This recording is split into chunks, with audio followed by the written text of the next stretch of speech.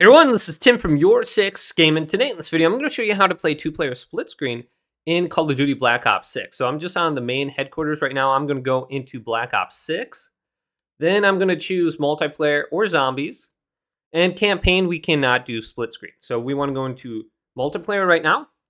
And when we get to this screen, we can actually add a split screen player now. So I'm going to go to my second controller. Here's my second controller, and I'm going to simply turn it on right now. And when I do this on screen, there's going to be a pop-up where I have to choose a profile.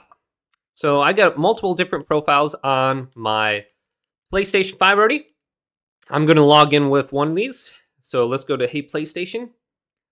Now you can see in the top right, it says Player 2, press X to join split screen. So I'm going to press X on my controller and it's going to log me in with my account that I selected. Now you can see I have two people under my party. Now I can go to find match and I can start a game. Now there are some limitations like if I go to the training course, it says I'm not allowed to play split screen in here for some reason. One of the players would be logged out.